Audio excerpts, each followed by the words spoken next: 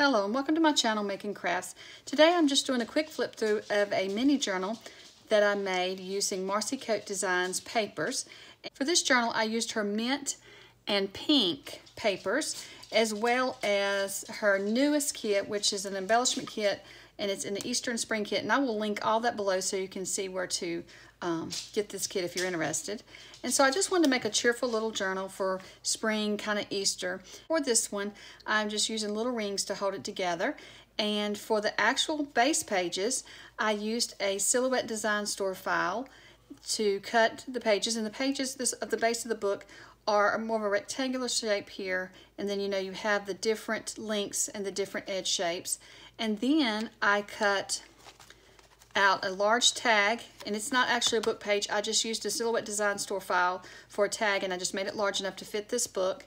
And then another page I cut out was for the um, an egg. I just enlarged the egg as well from a design file, and then I also cut a little rabbit, and I added him to a little piece of paper so that um, he could be further out in the book so that it, I wanted to have, since I had the layers across the front going this way, I wanted the layers across the top to go that way as well.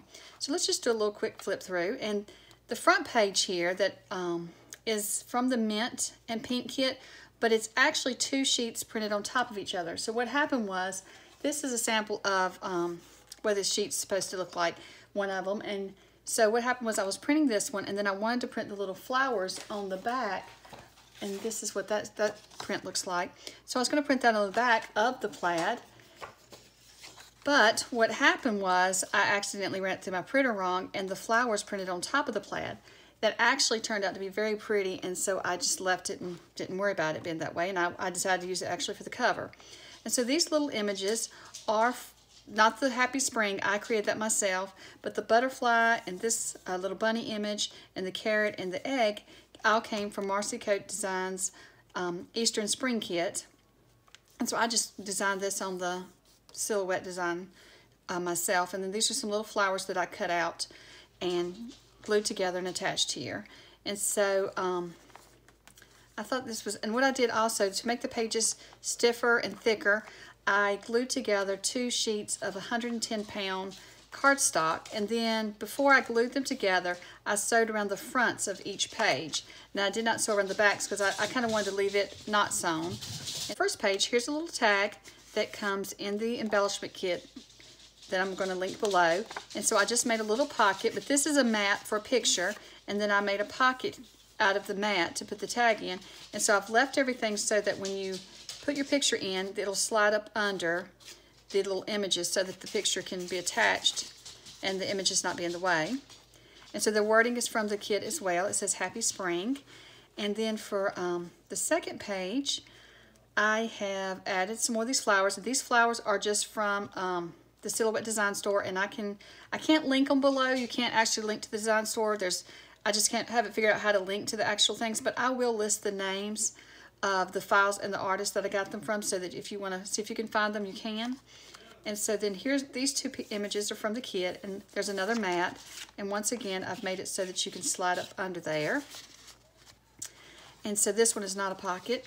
And so on this page, I've used the images again. And as you can see, this is kind of loose, but if you want to glue it down once you put the um, picture in, you could. And so then I've used the words hippity hop. And I really love this little image of this bunny with the mushrooms and flowers. It's so cute. And then the tag I've left blank for now.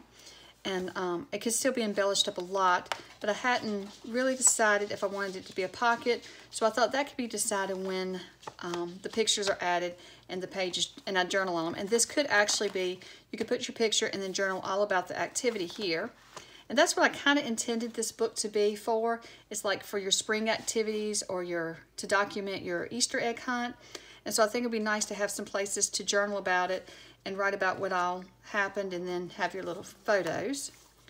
And so here we have some more little flowers and images. And so I've used the images on each page from the kit as well as the flowers that I made myself. And this paper here is actually from the green and pink kit. So it, so this one, the first, the main pages, all of most of the main pages are from the um, mint and pink kit from Marcy Coate Design.